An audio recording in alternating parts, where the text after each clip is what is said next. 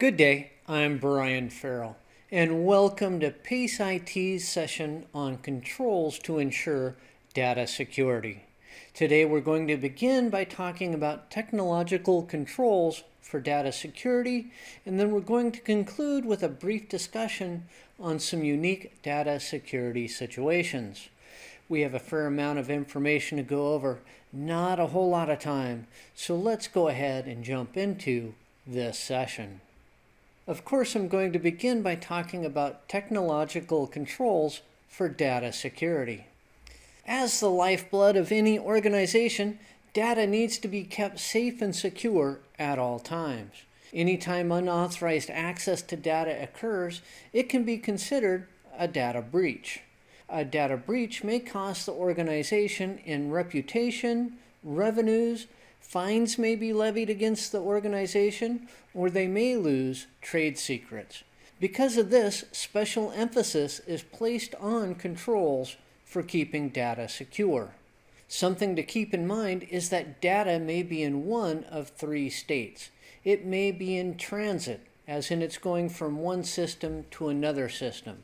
It may be at rest, so that would be when it's on the storage media or it may be in use, as in it's being used in an application. In order to ensure the security and integrity of the data, technology controls should be used for all three states.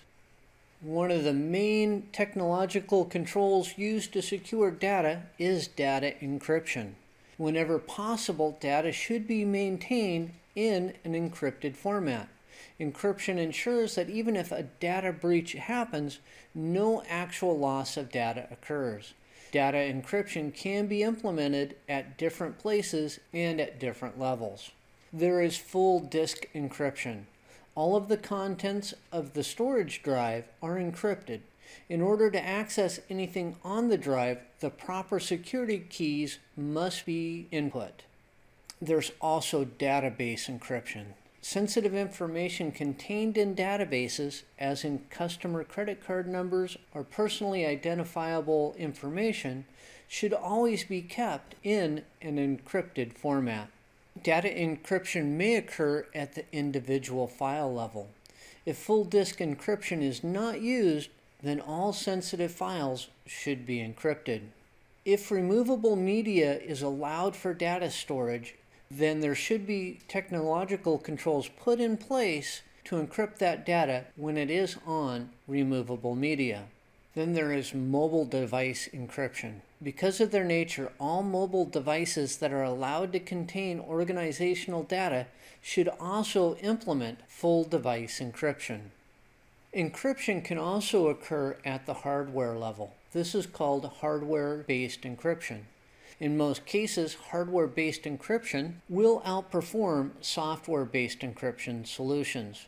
The reason is the chipsets that are used in hardware based encryption are optimized to perform the necessary algorithmic calculations for the encryption.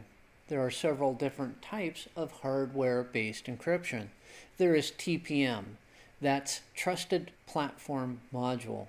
A specialized chip is used on the motherboard, which, by the way, must be supported by the BIOS, that contains the cryptographic keys and algorithms that are required to perform the encryption. TPM is very useful for performing full disk encryption on laptops. Then there's HSM, that's Hardware Security Module. A specialized add-on card is installed into the system to perform the hardware encryption. If TPM is not possible, HSM is another option that can be utilized to perform hardware-based encryption. And finally, there's USB and portable hard drive encryption. When data is allowed onto portable media, only devices that support encryption should be used. A solution for USB flash drives is to use an IronKey USB flash drive. They are encrypted by default. File and folder permissions are another type of technological control. They're a method for specifying who can access files and folders through authentication and what manipulations can be performed on the data through authorization once it has been accessed. Permissions are usually established through the use of a type of access control list or ACL. Data policies are not necessarily a technological control, but they can be used to help to implement technological controls. Policies, they're usually a form of administrative control, should be put in place that outline the technological controls that detail how data should be handled. The policies should outline at least the following controls. There should be storage controls. These controls, when put in place, determine where and how data may be stored, including the levels of encryption that will be required. Retention policies are controls that are put in place that determine specifically how long data must be kept and maintained and when data must be disposed of. And that moves us to the next one, which are disposal policies. These are controls that are put in place that specify how data must be disposed of, the controls cover both physical and electronic data and should specifically outline the proper disposal method for each type, as in the shredding of physical documents or the sanitation of hard drives. And that brings us to the last of the data policies that should be in place, and that is a wiping policy. These are controls put in place that specify how data on devices that are no longer in use or that are going to be repurposed must be handled. This is usually through the use of a secure data wiping process. It's time to conclude with a brief discussion on unique data security situations. First up is the Storage Area Network situation, or the SAN situation. Many organizations will utilize the storage area network as a method of storing and accessing data.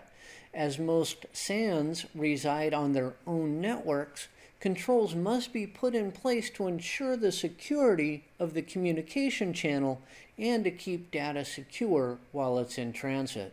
There is also the cloud storage situation. Cloud storage does require some special controls in order to keep data secure. In addition to that, in some cases, it is not appropriate to store data on a third party cloud solution. As in personally identifiable information, or PII, should never be stored outside of the organization's control. And finally, there's situations involving big data. Big data storage and transmission methods should have special controls put in place to ensure that the communication channels are secure and that sensitive data is maintained in a secure manner at all times. That concludes this session on controls to ensure data security.